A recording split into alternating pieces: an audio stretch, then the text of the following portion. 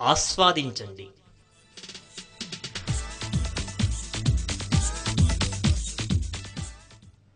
Africa joke ఒకసారి అక్కినేని నాగేశ్వరరావు గారు అక్కినేని నాగార్జున గారు బాబు మోహన్ మరియు సూపర్ స్టార్ కృష్ణ ఈ నలుగురు కూడా ఆఫ్రికాకి వెళ్తారు. అక్కడ ఉన్నటువంటి కోయవాళ్ళు ఈ నలుగురిని దొరకబట్టేసి నాలుగు చెట్లకు గట్టిపారేసి ఈ కత్తులతో చంపేద్దామనే మూమెంట్ లోపల ఆ కోయ రావు గోపాలరావు గారు అక్కడికి వచ్చి మిమ్మల్ని అందరినీ నేను వదిలేస్తాను.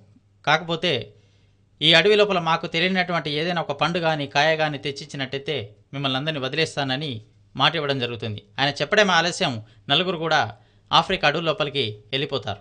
అయితే సూపర్ స్టార్ కృష్ణ అక్కినేని నాగేశ్వరరావు మాత్రం ఇద్దరు ఒకే సైడ్ వెళ్తారు. ఎందుకంటే ఇద్దరు సీనియర్స్ కదా ఇద్దరు పదురుకుంటారనమాట ఆ తర్వాత నాగేశ్వరరావు గారు ఒక పరికి పండు పట్టుకొని రాఘుపాలరావు గారి దగ్గరికి వచ్చి ఇలా అంటున్నారు. హ్మ్, చూసావా కోయదొర? హ్మ్, ఇది పరికి పట్టు నల్లగా ఎత్త డిగరగలాడుతుందో చూసావా?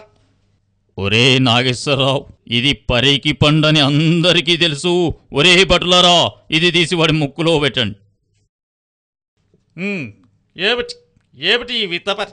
ముక్కత్త బట్టగా ఉంది సూపర్ స్టార్ కృష్ణ గారు లోపలికి వెళ్ళేసి ఒక రేగుపండు పట్టుకొని వచ్చారు. రేగుపండు పట్టుకొని వచ్చి కోయిదర దగ్గరికి వచ్చేసి ఏమండి రావుగోపాలరావు గారు? ఇది రేగుపండు. మీకెవరికీ తెలియదు తెలుసా? ఒరే కృష్ణ ఇది రేగు పండని ఇక్కడ మహిళలకు కూడా తెలుసు. ఒరే భటులారా ఇది తీసి వాడి ముక్కులో పెట్టండి. ముఖంతా మంటగా ఉంది. ఆ తర్వాత పాపం బాబుమోహన్ గారికి ఏం తెలుసు? ఆయన చాలా అమాయకుడు. ఆయన లోపలికి వెళ్ళేసి ఒక పచ్చిమిరపకాయ పట్టుకొని వచ్చారు.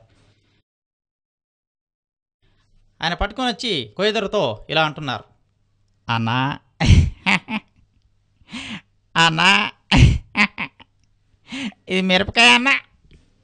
ఒరే బాబుమోహన్ ఇది పచ్చి మిరపకాయని ఇక్కడ చిన్న పిల్లలకు కూడా తెలుసు. ఒరే భటులారా ఇది తీసి వాడి ముక్కులో పెట్టండి. అని ముక్కులో పెట్టగానే బాగా బాధపడి ఏడవాలి కదా. ఏడవట్లే బాగా నవ్వుతున్నాడు. ఎందుకు నవ్వుతున్నాడో అర్థం కావట్లేదు. నాగేశ్వరరావు గారికి బాగా కోపం వచ్చేసింది. నాగేశ్వరరావు గారు వచ్చి బాబు బో ఎందుకు నవ్వుతున్నావో చెప్పు. కబా టెల్వి కృష్ణ గారు అన్నారు ఏంటండి బాబుమోహన్ గారు? మాకు రేగుపండు పెడితేనే మొక్కంతా మంటగా ఉంది. మీకు పచ్చిమిరపకాయ పెట్టినా కూడా ఎందుకు నవ్వుతున్నారో చెప్పండి. అనగానే అప్పుడు అసలు విషయం చెప్తున్నారండి బాబుమోహన్ గారు. ఇలాగా. అన్నా. అన్నా. అన్న నాగార్జున గారు గుమ్మడికాయ తెస్తాడు